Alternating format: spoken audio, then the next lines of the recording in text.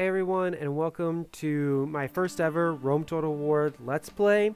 So, I actually already recorded this, but it turns out my mic was muted the entire time.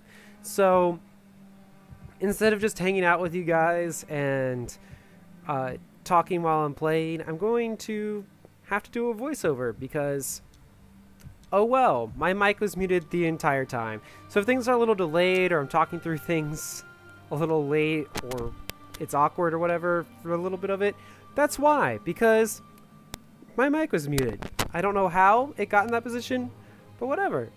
Anyways, I'm going to play this game on Legendary. I'm going to play as the Seleucids. I know other people say Seleucid Empire.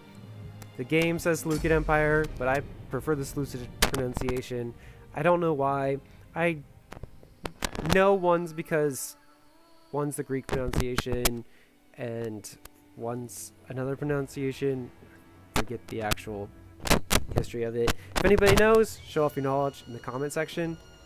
Anyways, I'm going to play as the Seleucids. It's going to be weird to talk over this for 34 minutes, but oh well, this is just what's going to have to happen because I don't feel like you going and doing Empire, the entire episode over again, and it feels almost dishonest because Bactria I'm trying to do a raw playthrough. And Parthava and Anyways. others may also attempt to break away.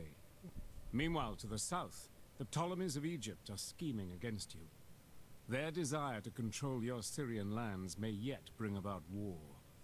Although stability to the north and west may be assured by the Sardes, who remain loyal, the warlike Galatians and the Hellenistic states of Asia Minor threaten your borders. The future of Alexander's legacy That's a lot of pressure, but... The Seleucid Empire must not fall. He said Seleucid. I already knew that. But it still hurts. Anyways, well, that's a lot of pressure, all of Alexander's empire on us. All of the pressure, but I think we can do it. I think we can do this.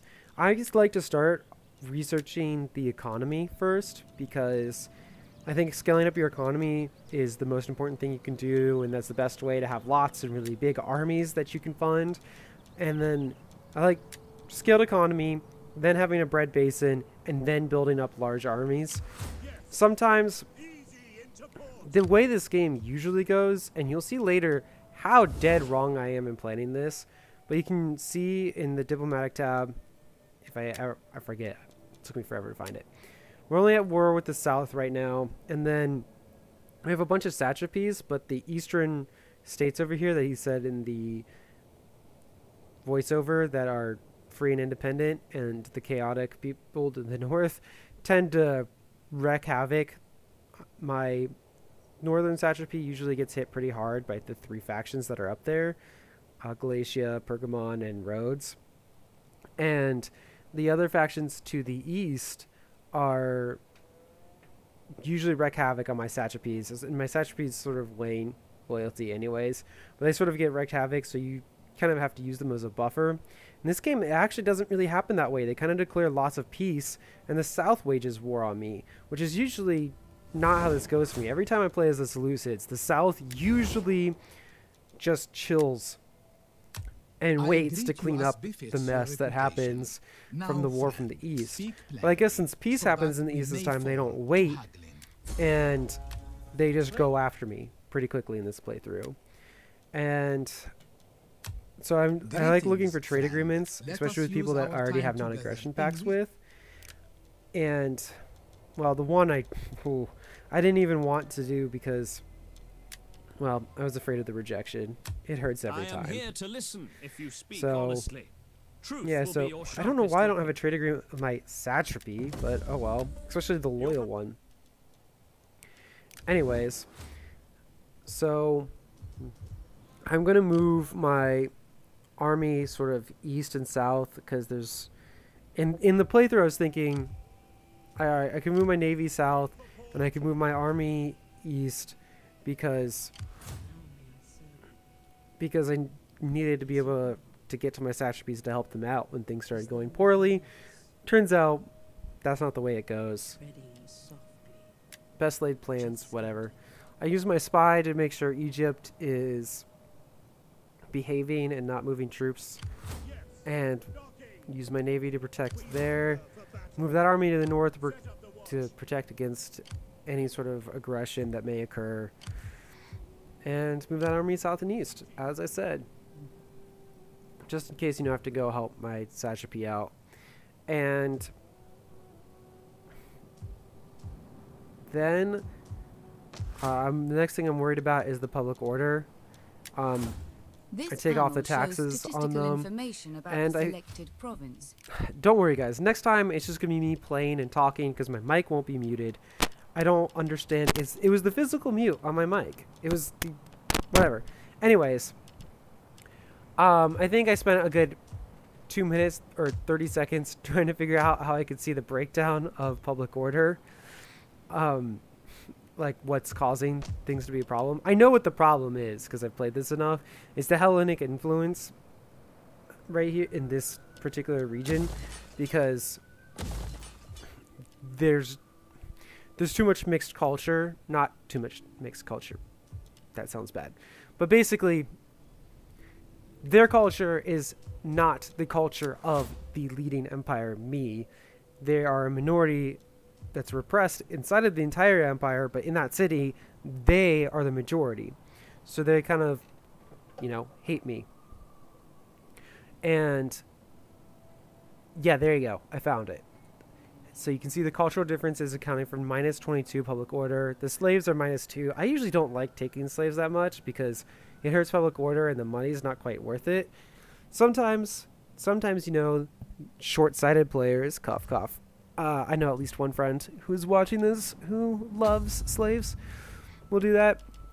Um, but yeah, so you can sort of look at the party influence and part of the reason why the Hellenic influence is such a problem there is I'm sure the Parthian families have a stronghold in that region as well. You can look at the map and see that, but I don't think I have to. I just kind of know. And here, I think I'm going to go with the Temple of Poseidon. Uh, Shrine to Poseidon, I mean. Um, that doesn't hurt you in food, if, and the others do. It actually produces food. And I'm, you know, it's got maritime stats, and it produces food, and this is going to be a sort of a maritime trading city for me, Antioch is. It's my capital, capital, and having a trade hub just seems the exact right thing to do, so I'm going to build a harbor which you can see helps with the trade. It doesn't really help with the garrison too much, but the trade, super good. And then I, I already moved to the Navy. Why did I click the Navy again? Sometimes I just double check units for no real reason other than double checking units. I bumped my taxes up because Edessa already has no taxes on it, so it's not going to hurt their public order. It hurts a little bit everywhere else, but it's going to give me a little bit of a boost in this early game. And the the buildings I will start producing. Obedience to the rule. Huh, go away.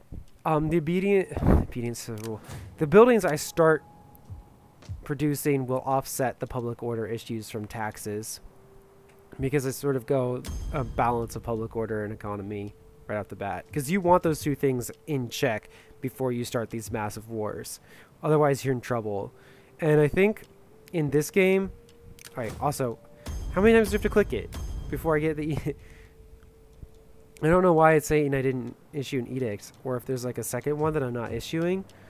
But anyways, um, where was I? Uh, yeah, see, they declared war on me, and that that caught me off guard.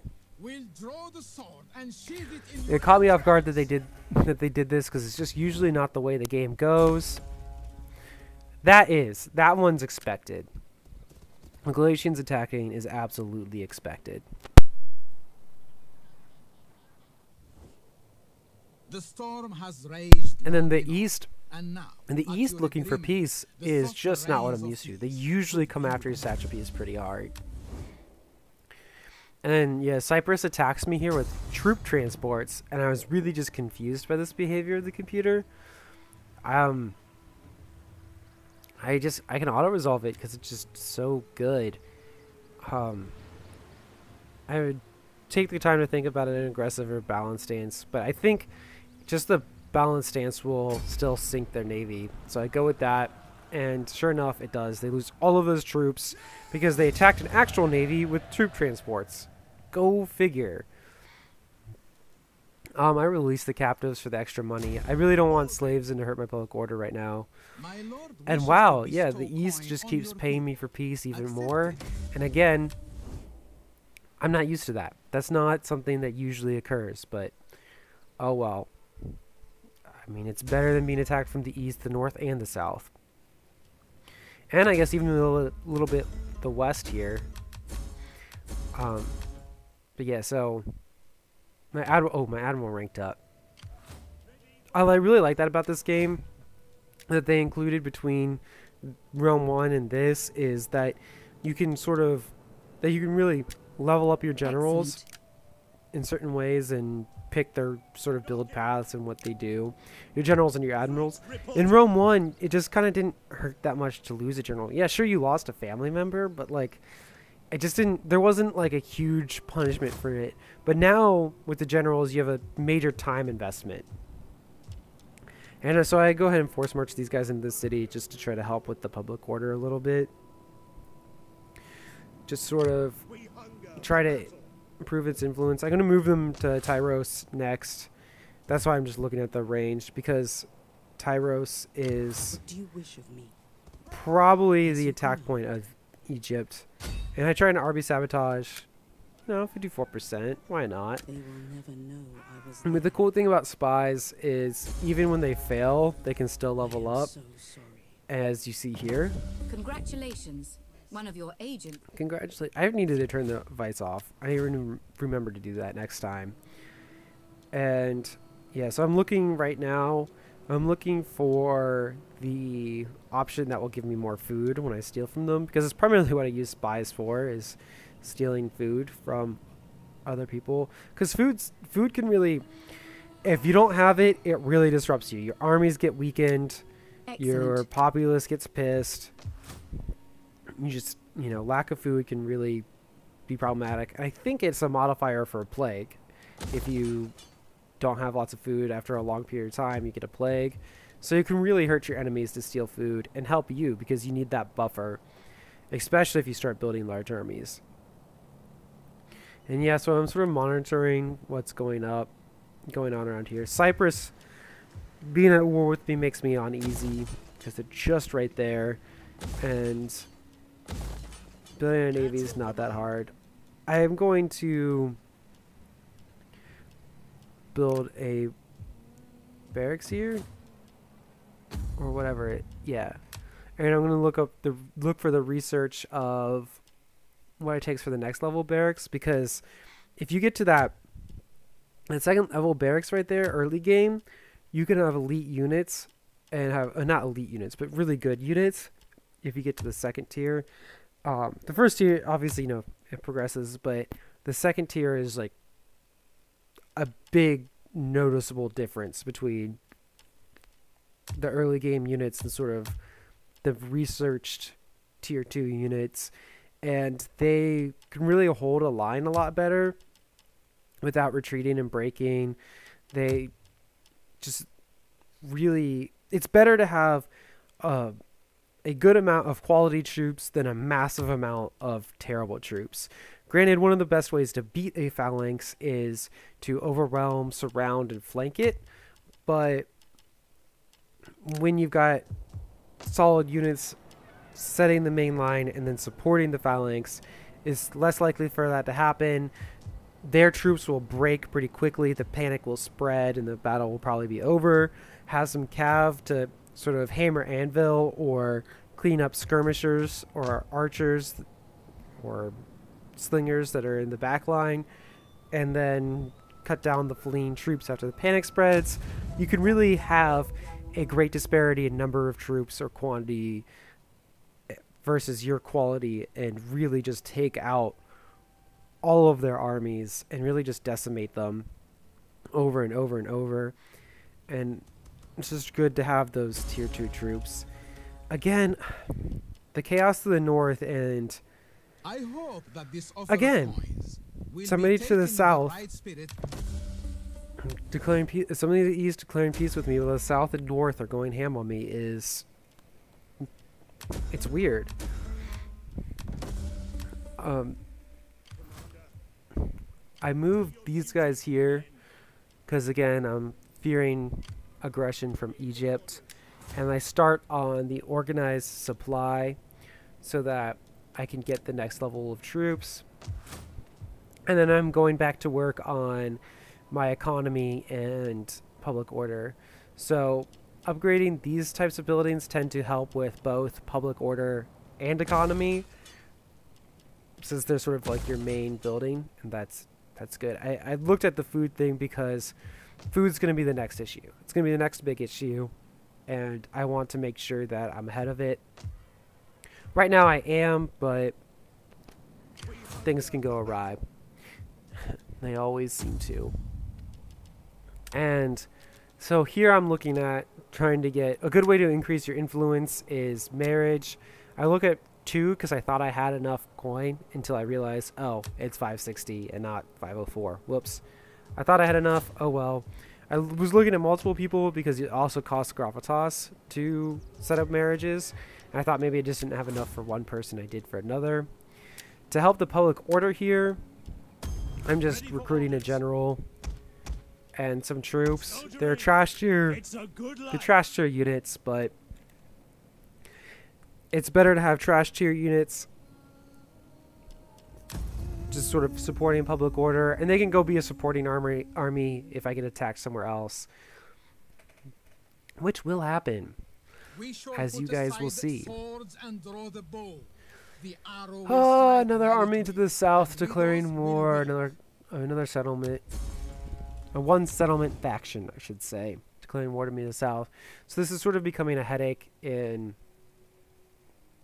the south and the north. Um, two front wars are, you know, they're never good. Ask uh, ask Germany how a two front war worked out for them. Not well.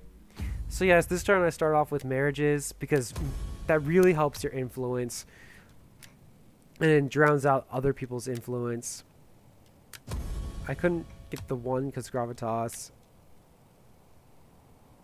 And wow, that marriage cost a lot in coins. I wonder why. Is she just kind of a bully?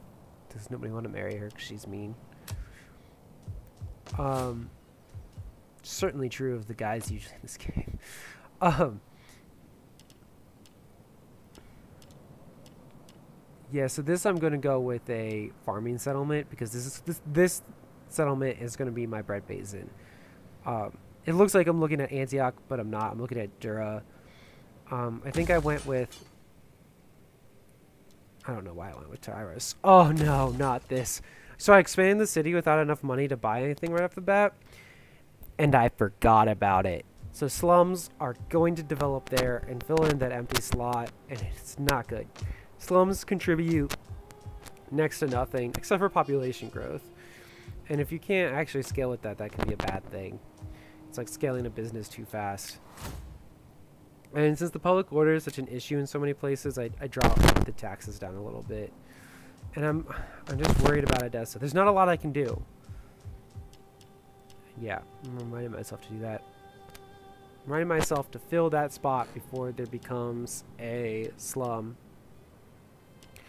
And then, yeah, I, on my turn here, not a lot else to do. And at first, you know, these turns go by fast because there's not there's not a lot you're doing. I mean, every turn matters a lot. Like with comparison to Civ, this every turn matters a lot more in this than like early game Civ. But they still go by pretty quick too. And at this point, I'm desperate for trade agreements. I'll take a trade agreement with literally anyone. It could be somebody I was just at war with. Sure, you get a trade agreement. Everybody gets a trade agreement. Everybody I can trade with, I'll take their money. And yeah, that's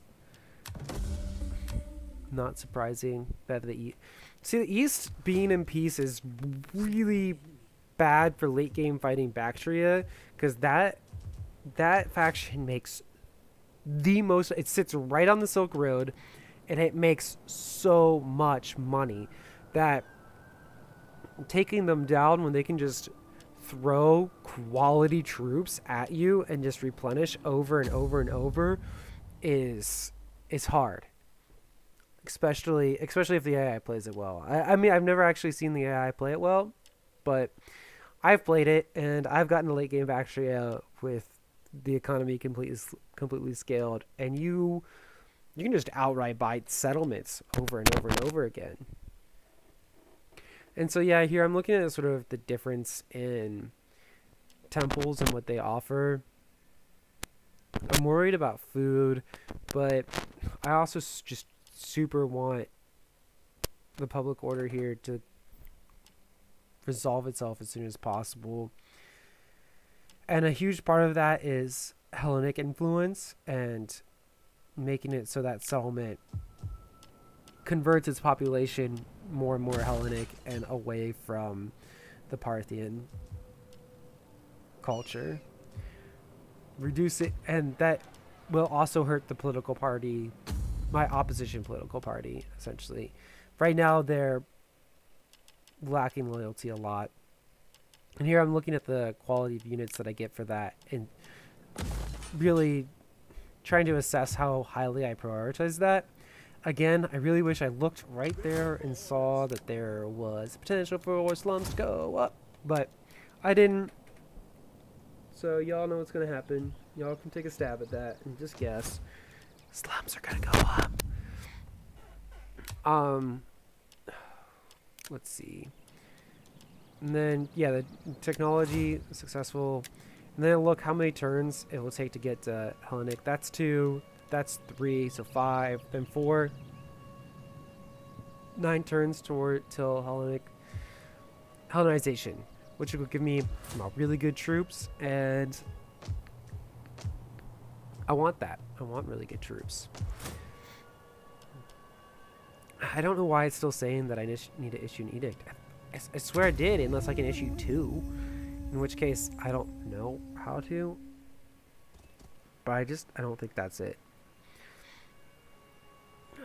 There's some expansion going on here. There's some real northern integration going on up there.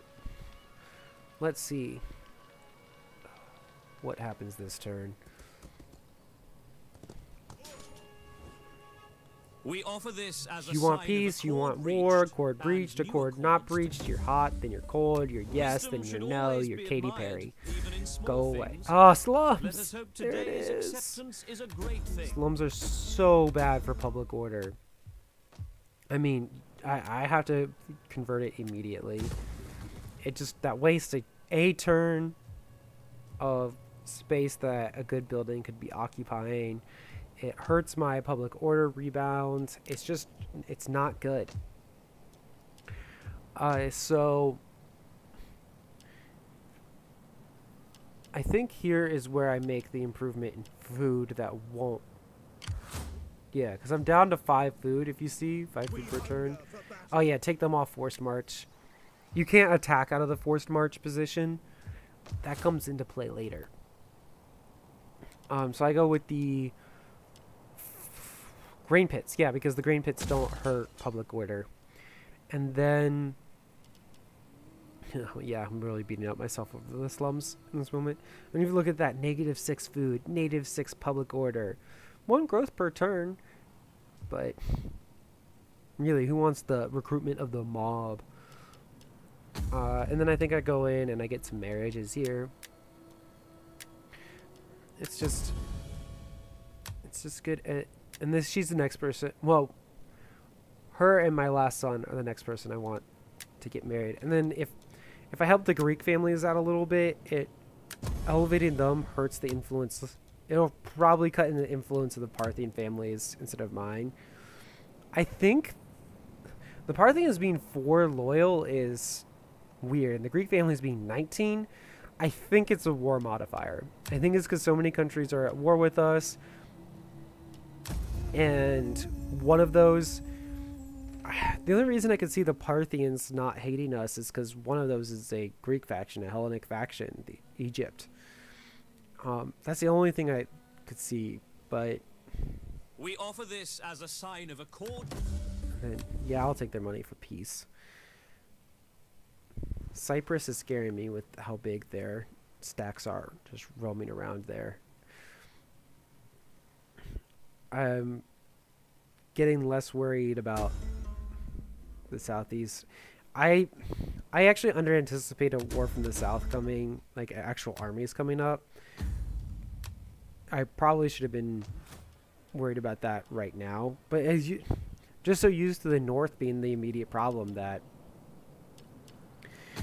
so these are these are super useful and they make a lot of money but I don't I don't want the public order issue right off the bat. So I think I go with the public forum here and to get the public order bonus plus trade bonus I think I go with the wine trader. And it just fits in with my maritime commerce and it allows for a um, tariff on trade agreements. So extra money from a lot of different places and a public order bonus. It's hard to beat that. It's hard to beat money plus plus public order. Definitely don't want the slave trader place. I don't like the sl the slaves are like an immediate gratification thing. Like they boost you up immediately, but long term, long term it can hurt you, and it certainly hurts in public order. And if you can't tell, and like here in Edessa, public order, big problem. I'm just a couple turns away from rebellion. I've brought the cultural differences down a little bit, but it's just not enough. And I add two more troops here of slingers. It balances out the pathetic little army comp a little bit, but it also it might just help create a better modifier on the um, troops being stationed there, improving the public order, and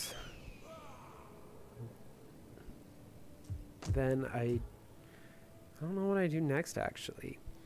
I don't know what I was planning. I think oh yeah yeah yeah yeah. I go with a I try, I'm trying to decide between a shipwright and a military wharf here because one of my one of my cities needs to have a, navy is just so important in this game, especially a good navy. Like you saw what just a few of my ships did to their troop transports. I mean, they just destroy it. I think the reason I spammed my mouse over there is because I think Antioch is going to be my um, maritime trade city, and Tyros will be my like more military shipbuilding area. So, and it also improves the garrison, which is an issue as you'll see in a bit. And I I don't think I do it this turn. I don't think I build another. It's just not a high pro. This area shouldn't be a high priority. I I'm prioritizing it too much because I'm just worried about it. But in hindsight, that was a bad call. And Tyros, I think I'd go with the pit mine. Because why not? Extra money is just, it's helpful.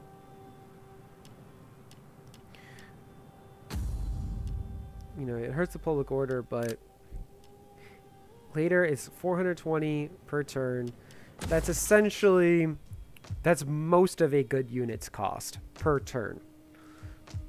So,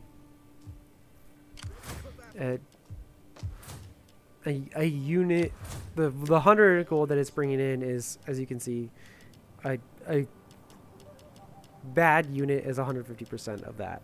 So, we just, and then so like this army comp, what I'm thinking about, I got these two bad troops right now, so I don't have to wait later when I'm recruiting the good troops, and then then I'm looking then I'll be looking for support troops uh, to fill in the gaps with the line. So essentially these pikemen are going to be the front line with the spearmen on either flank protecting against cav charges um, from the sides and then these guys will the axemen the hillmen will fill in wherever you know they'll support wherever gaps might start to expose themselves or where troops start wavering or getting tired They'll sort of fill those gaps. And then the light cav will be there for slingers and stuff like that. Well, the better cav that I get later will be able to do be able to do more hammer anvil type behavior with the elephants working sort of shock cav. So that's sort of my plan with that army comp up there. And that's why I bought the two trash tier units while I could, and I won't have to wait later. One of the things that I like about oh yeah the army force marching in. This I was not ready for. Um, so instead of I think because I saw this guy in force march and you can't attack out of force march, I thought he was gonna have to take one more turn of force march to get there. So that's why I recruit the way I do here.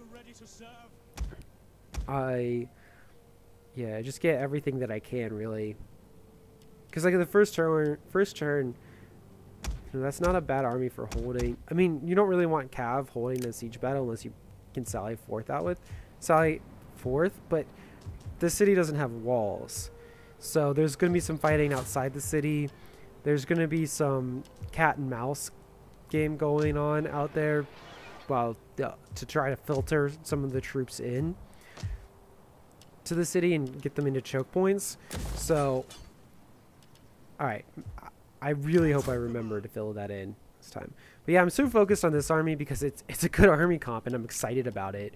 Versus the South where it's like, I need it, I need armies immediately because they're about ready to be a major. This is about ready to be a major issue. There's already a massive 20 stack approaching on force march, and see, this is where I thought I didn't think he had the range to attack. So I think I I make him make a choice. Either he has to attack my city or pursue my general. So I withdraw. Disengage! And it looks like he actually just doesn't choose either. Which I was super confused by. I don't know if he was trying to single out the general or what. But and this seems like a pretty coordinated attack. Cyprus is moving in, eventually Egypt moves in, and there's this army, and it's it's overwhelming me. And then right now I'm like too panicked to actually read what these things say. I think I end up going with cavalry training again. I do stand by quality units are better than and it's good to see that I'm researching Hellenization already because that's how I'm going to rebound. Quality armies is how I rebound. Better garrisons going to help. So I force march this army here. And so he's garrison in there. I get this army inside this city, and I send him back to recruiting. Fighting out a force march is really bad, but it's just there needs to be support here. We need good fighters. And yeah, I get everything I can because this army might have to retake that city.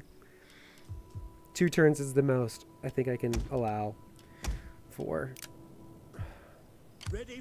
this is just to be this is to be a struggle. And then yeah, I hire some mercenaries just to I just need everything I can. I need to throw the kitchen sink at them. Because this is to be an issue. I see Cyprus moving there. And I think here I'm tempted to move this army down. But if I do, I'll really expose my north. So, this is just what's to just to be what it is down here. And I don't think... I, I really don't want to move this army down because the public order is still so bad. Once the public order recovers there, so they're down. And then, yeah, building that is going to be super helpful for better troops, but it's in the wrong city. I can't recruit them because I've already recruited the max. I don't notice that for a few clicks. It's like I have enough gold, but I don't see the zero at the top. That's okay. Then in legendary mode, the difficulty we're playing on, we can't save. So we're going to see what happens after I, on the next episode, after I click end turn here and see what happens with this 20 stack. Not the best units. So hopefully that's our saving grace is that they don't have great units and we might be able to hold. And then I'm, I'm looking for... It takes me a hot second to remember where the uh, garrison is, where you can see the garrison. But, anyways, so next episode we'll see what happens. Again, in Legendary you can't save, so I'm gonna click and turn and then close out, and we're gonna do we're gonna see whatever happens in the start of the next episode.